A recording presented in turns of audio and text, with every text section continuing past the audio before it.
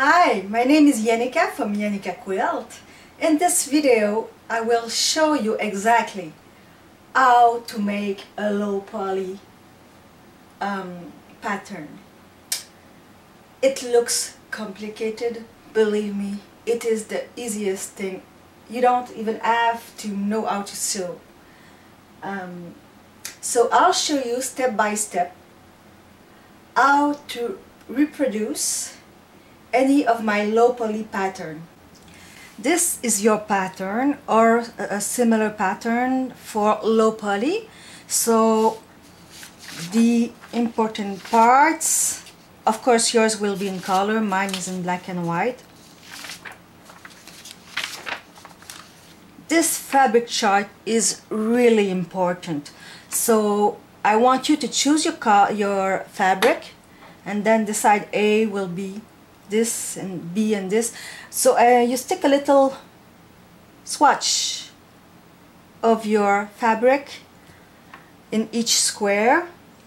That way you won't uh, get lost trying to do this uh, low this low poly. The diagram for the cougar, as you can see, you have number and letters. Let me zoom in. Okay. Like for example see well I have. One two three four. And fabric C fabric B fabric A. So this is your map. This is your map to be able to reproduce the cougar the next page are your pieces exactly like on your map but real size as you can see here I have one C piece 1 color C and you will see that I have little stars right here. Those are really important. I'll explain to you later. So what you have to do is prepare your material. For this project you'll need a rotary cutter and a, a small ruler um, any fusible fleece? Uh, I like Pellon um, 820 because of the grid. Even though I don't really use the grid uh, for this project uh, I buy it but I buy it by the bolt so that's what I use. Um, I suggest a fleece that's not too heavy. Uh, I say medium.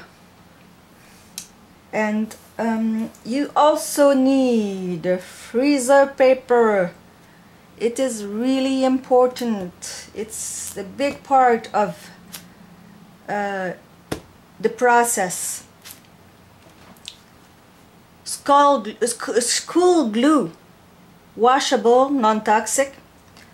Um, uh, you can use uh, liquid like that but I really like to use sticks I buy them by the box. And finally you need to pull your fabric.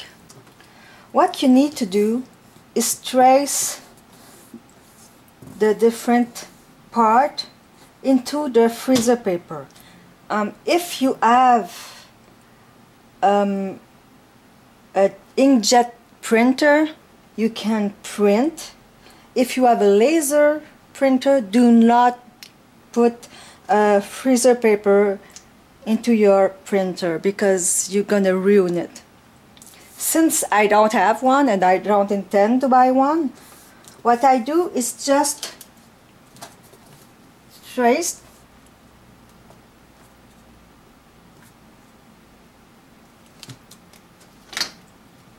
the shape on the freezer paper.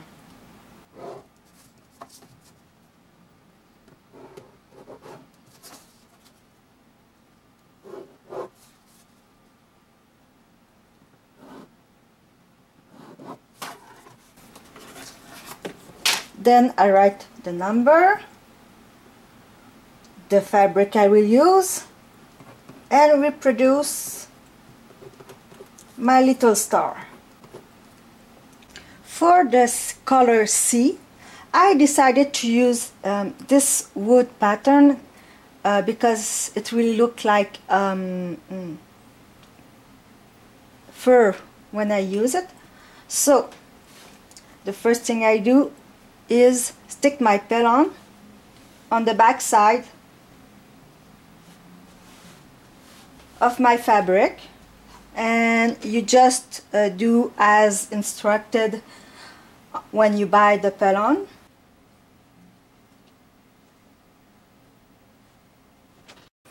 here you can see I've cut the shape.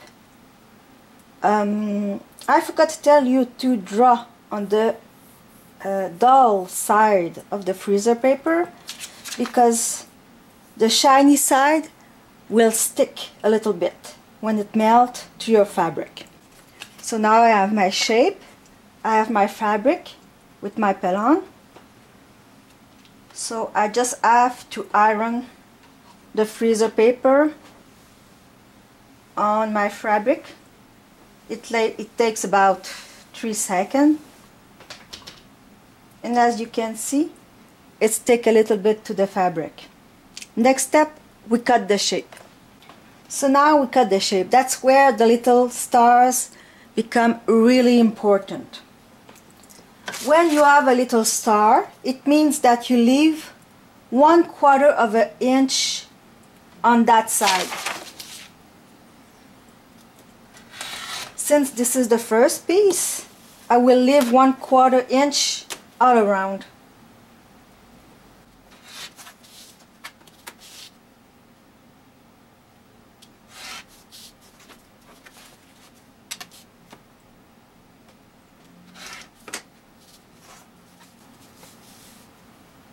like this. Here I did the same for uh, piece 2 and piece 3 with the Pellon behind.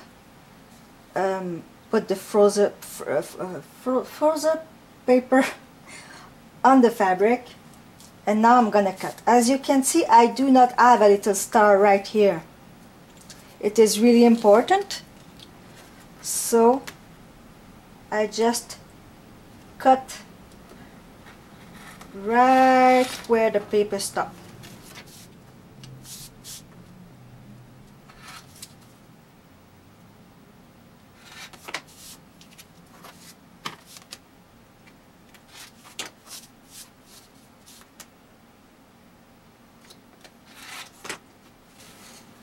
There you go. So now I have three parts my number one, number two, and number three. Here, if I look at my diagram, oops, there you go. You have one piece one here, two, and three. So I just do the same thing. This is piece one. This is piece two. And this is piece 3 like this. So now I see that there's a little piece of fabric that bother me because it's getting thick. Because I have three layers. So I just cut the little corner right here and I do the same thing right here. And put it back together like this and like this. This is perfect. So the next step you use glue. You just put a little piece of glue. Oops, like this. Uh, more than a little bit. Put plenty. And then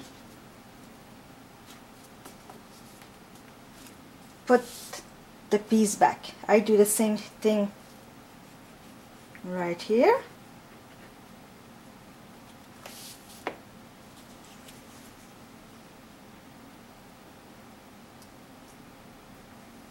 and I do this. So now I am ready to put piece 4 so here I made piece 4A 5D and 6D as you can see here there's no stars so there's not a quarter inch. Same here same here like this. So like I did before I just add glue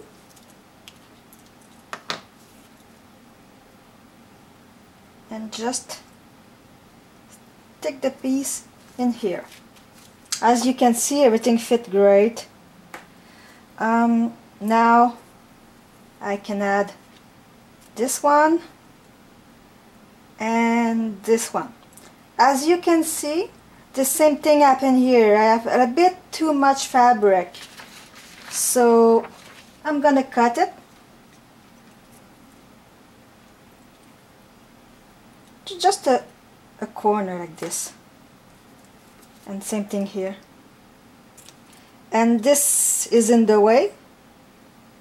So I cut. Everything that's in the way. So now as you can see everything should fit a lot better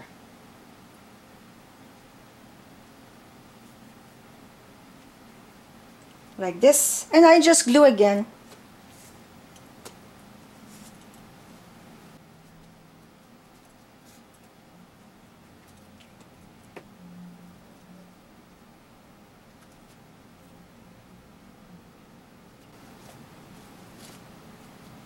What I really recommend is that you try to work in section.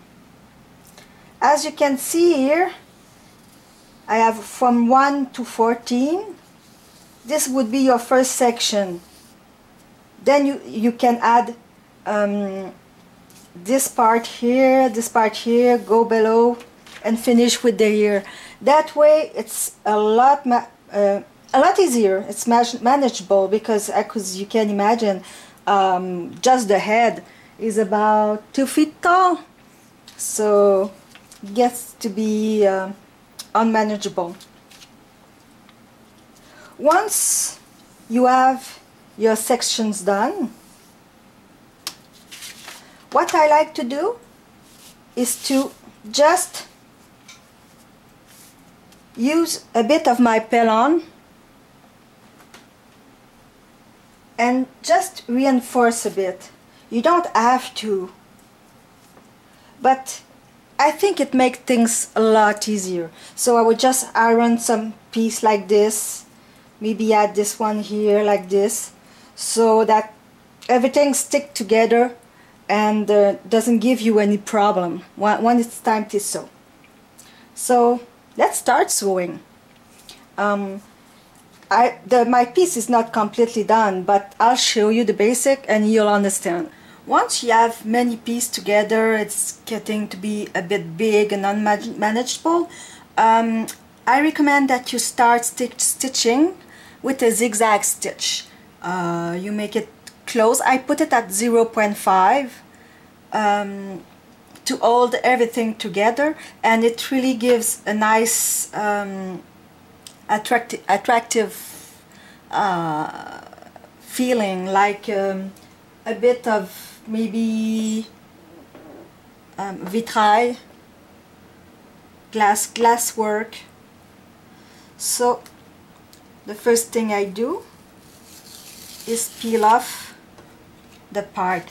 As you can see here, I still have a quarter inch showing so that means I still need this paper and this paper and this paper because there's other parts that are coming on both sides but just to uh, demonstrate uh, how to stitch I'm just gonna unglue a tiny bit and fold. I'll do the same thing here.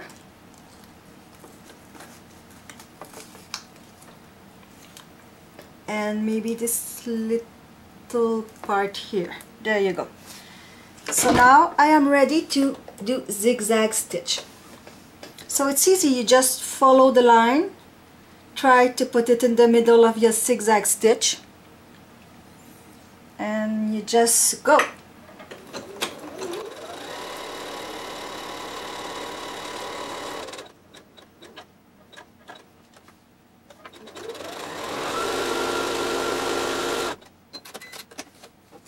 Like this.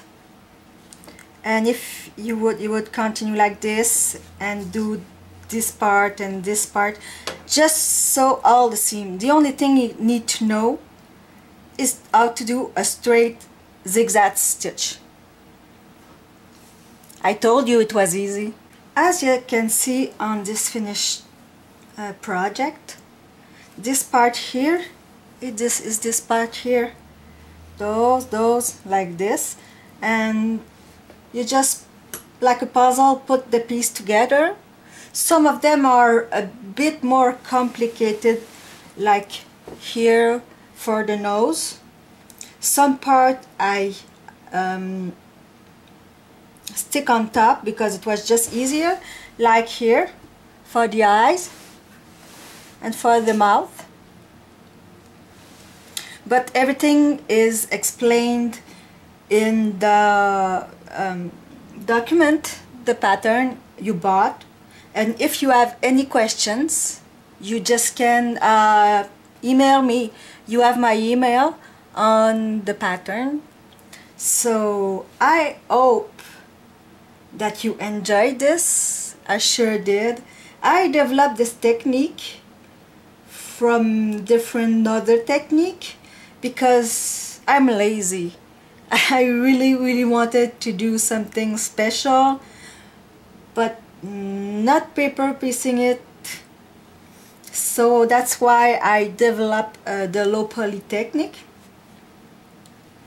and uh, since I made them before you I hope I made all the mistakes and uh, made it easier for you. Uh, what you have to do at the end is just apply it on whatever background you want. Um, you can choose different colors. Here I use uh, browns but if you want you can use blues you can use red you can use pink. Uh, don't let yourself stuck in a corner. Uh, think outside the box. Like right now I'm doing a raccoon in blue. It's gonna be so much fun so thank you for watching